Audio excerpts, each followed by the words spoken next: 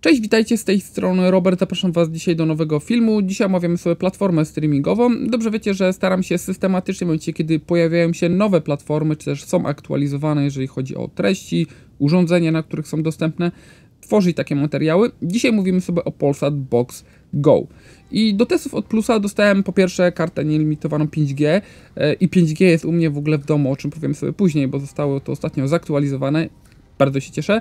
E, druga kwestia jest taka, że dostałem Oppo Reno 6 5G. Telefon, który już testowałem i zresztą niedawno, uważam, że jest bardzo sensowny, a przede wszystkim bardzo ładny.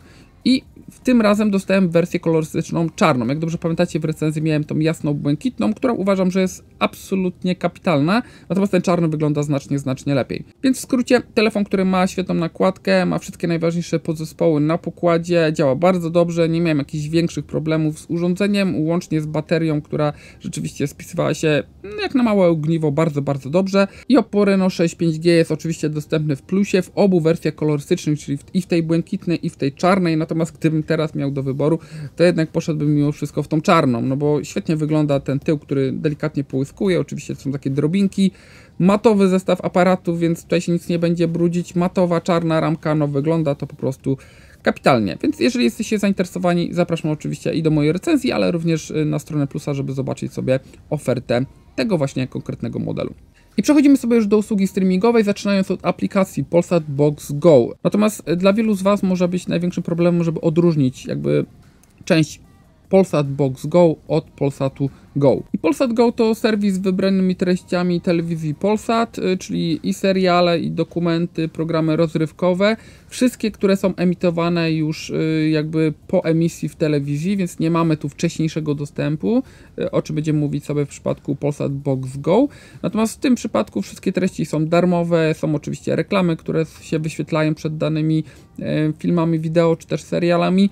Natomiast nas najbardziej interesuje Polsat Box Go. I dostępne jest 5 pakietów, z czego pierwsze 3, czyli Premium Sport oraz HBO, są dostępne na terenie Polski oraz Unii Europejskiej. I tutaj zwracam uwagę, że dostęp w Unii Europejskiej jest tylko dla obywateli Polski, którzy na chwilę wyjechali gdzieś tam za granicę w celach służbowych czy też wakacyjnych i mogą z tego korzystać, ale wcześniej musieli kupić dostęp na terenie Polski.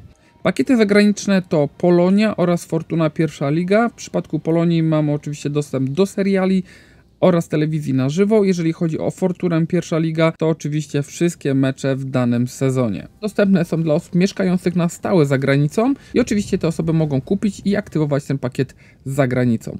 Dla nas najważniejsze będą pierwsze trzy pakiety w Polsat Box Go, czyli Sport, Premium i HBO. Oczywiście za każde osobno płacimy. Pierwsze dwa są w chwili obecnej w promocji. Jeżeli chodzi o Sport mamy 40 zł miesięcznie, jeżeli chodzi o Premium 30, HBO 25. I oczywiście y, wszystko zależy od tego, czego oczekujemy, czego potrzebujemy, co oglądamy y, w telewizji, a tak na dobrą sprawę, co chcemy mieć zawsze ze sobą, bo przypominam, że możemy korzystać i z Wi-Fi y, w domu, ale również z LTE 5G, mm, jeżeli jesteśmy na dworze, czy gdzieś na wyjeździe. I jeżeli chodzi o konkretne treści dostępne bezpośrednio w odpowiednich pakietach, no to w sporcie mamy dostęp właściwie do całego sportu, bo jest i Liga Mistrzów, PKO BP, Ekstraklasa, Liga Hiszpańska, Włoska, czy francuska. Mamy cały Polsat Sport, Eurosport. Jeżeli ktoś jest fanem piłki nożnej, myślę, że ciężko przejść koło tego obojętnie. Jest oczywiście w ramach umów dostępna Formuła 1, co mnie najbardziej interesuje. No i oczywiście w ramach pakietu Sport jest dostępne 20 kanałów telewizji na żywo. Później mamy moim zdaniem drugi najciekawszy pakiet, czyli pakiet premium, w którego skład wchodzą filmy i seriale, Część z nich jest publikowana przedpremierowo. Pojawiają się tam oczywiście również inne wybrane filmy na wyłączność oraz produkcje dostępne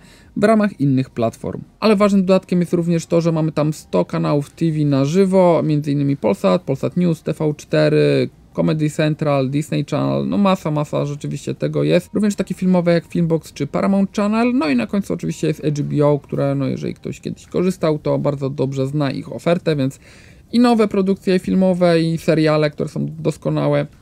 Jeżeli ktoś nigdy nie korzystał, ten gapa, niech żałuje. I zanim przejdziemy sobie do kwestii technicznych, aplikacji i tak dalej, jest jeszcze jedna rzecz. Treści, które były do tej pory dostępne bezpłatnie w ePlay są obecnie dostępne w ramach pakietu Polsat Box Go Premium. I tam oczywiście bez reklam, jeżeli mamy ten pakiet, możemy to wszystko sobie nadal oglądać. A teraz przechodzimy sobie już do samej aplikacji. Aplikacji, która jest oczywiście dostępna na start na wielu platformach. Android, iOS, jeżeli chodzi o smartfony oraz o tablety. Jest również dostępna na HMS-ie, więc e, bardzo fajnie, że o tym pomyślano. Ale i to jest dla mnie ogromny szok, że jest dostępny na start, od razu, na dzień dobry, na wielu platformach.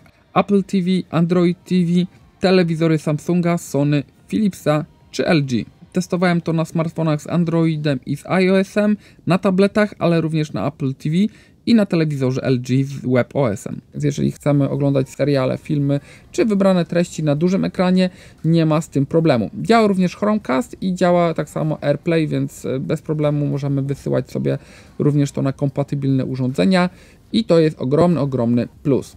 Kolejnym ogromnym plusem na dzień dobry jest w momencie, kiedy konfigurujemy sobie aplikację, jest to, że y, domyślnie aplikacja jest, y, wybiera jakby motyw przewodni naszego urządzenia. Jeżeli mamy motyw ciemny, zarówno na Androidzie, jak i na iOSie, aplikacja będzie w motywie ciemnym, to jest super sprawa, cieszę się, że od razu o tym myślą. Jeżeli jasnym, to mamy oczywiście jasny. Aplikacja jest dość prosta, podzielona oczywiście na kategorie. U góry mamy zakładki, seriale, sport, film, wszystkie. Na dole oczywiście są nasze wykupione pakiety, mamy szukajkę, są treści, które są pobrane. Tutaj zwracam uwagę, że nie wszystkie rzeczy da się pobrać, ale te, które e, możemy pobrać, oczywiście automatycznie e, będą kolejkowane i można sobie je pobierać E, później odtwarzać w trybie offline. No i na końcu mamy kanały TV i jeżeli mamy dostęp do właśnie mm, pakietu premium, to tych kanałów jest naprawdę bardzo dużo. Żeby to wszystko przewinąć, to yy, tutaj będziecie widzieć, no jest tego naprawdę sporo, więc no każdy znajdzie coś tam dla siebie. Jeżeli chodzi o filmy, to zawsze jest, czy seriale, to zawsze jest kwestia indywidualna, tak samo jeżeli chodzi o sport. Ja bardzo się cieszę, że wiele rzeczy można oglądać na żywo, ja oglądam formułę, więc dla mnie to jest duże ułatwienie. Moja żona ogląda na przykład tam, nie wiem, setny serial, czy tam setny sezon Przyjaciółek, więc dla niej to jest też fajne, że może oglądać sobie to powiedzmy wcześniej, tym bardziej, że można tworzyć sobie użytkowników y, na wszystkich platformach i od razu automatycznie na wszystkich urządzeniach ci użytkownicy będą utworzeni. Nadmienię również, że można tutaj do jednego konta przypisać 5 profili, więc każdy z domowników będzie miał swój. Bardzo przydatne, jeżeli dwie różne osoby w różnym czasie oglądają jedną produkcję. Oczywiście wstrzymany film będzie kontynuowany od miejsca, w którym ostatnio go zastopowaliśmy. I w ramach tego jednego abonamentu możemy oczywiście oglądać te wszystkie treści na trzech urządzeniach jednocześnie. Czy chciałbym więcej? Ciężko powiedzieć. No jest żona i dwójka dzieci. Dzieci jeszcze nie oglądają jakoś tak bardzo dużo bajek, chociaż strefa bajek oczywiście jest i są te treści takie powiedzmy, e, które można nawet sobie pobrać offline'owo w razie czego gdzieś tam w drogę. E, natomiast myślę, że te trzy urządzenia są jak najbardziej akceptowalne. I oczywiście nie będę omawiał wszystkich treści, które są w ramach pakietów, no bo to można sobie dokładnie sprawdzić, natomiast myślę, że i dla fanów kina, seriali, i dla sportu na pewno coś się znajdzie. Z kwestii technicznych jeszcze wspomnę, że bardzo fajnie, że można w aplikacji wydzielać obraz do małego okienka, czyli jeżeli chcemy robić jednocześnie coś podczas oglądania naszego serialu, czy oglądania nawet telewizji na żywo, to można to jak najbardziej zrobić. I wspomnę jeszcze jednej bardzo ważnej rzeczy, a mianowicie niezależnie od platformy, czy to na telefonie, Android, iOS, czy na komputerze, w przeglądarce, czy też na telewizorze w odpowiedniej aplikacji, w telewizji na żywo, to my decydujemy co, kiedy oglądamy. Czyli jeżeli wracamy do domu po godzinie albo dwóch godzinach od momentu, kiedy zakończyła się jakaś emisja programu, na który czekaliśmy, możemy przewinąć sobie ten czas do tyłu i rozpocząć oglądać to od nowa. I jedyną rzeczą, której nie znalazłem w obrębie wszystkich usług, czy do telewizji na żywo, czy seriali, filmów i na wszystkich platformach, to możliwość wybrania jakości tego obrazu, który sobie streamingujemy. Oczywiście to jest Full HD, bardzo dobrej jakości, naprawdę jest obraz super, zarówno na Wi-Fi, czy też na 5G. Natomiast no fajnie czasami wybrać, szczególnie jeżeli bardziej słuchamy niż oglądamy i tak na dobrą sprawę zważamy uwagę na to, ile danych pobieramy. Odnośnie gorszej jakości, wielokrotnie Plus mówił o tym, że 15 milionów Polaków w zasięgu 5G, mam 2200 stacji bazowych y, obsługujących tę technologię i w końcu doczekałem się u mnie na wsi pod Poznaniem, nawet u mnie na strychu, więc jest ok. Włączyli niedawno, chyba w zeszłym tygodniu, ale fajnie, bo teraz na każdym urządzeniu mogę po prostu sprawdzać, to 5G rzeczywiście śmiga, śmiga bardzo dobrze, więc e, problemu powiedzmy nawet w ogrodzie z oglądaniem jakiejś treści wysokiej jakości na pewno nie będzie. No dobra, to z mojej strony wszystko. Dajcie znać, jak Wam się to podoba. Ja uważam, że bardzo fajnie, że te aplikacje są nowoczesne, działają tak jak mają działają, mają właściwie wszystkie funkcje na pokładzie, z tymi małymi minusami, o którym gdzieś tam wspominałem wcześniej. Jeżeli macie jakieś pytania, to dajcie znać w komentarzach, jeżeli korzystacie, to dajcie znać, jak Wam się spisuje.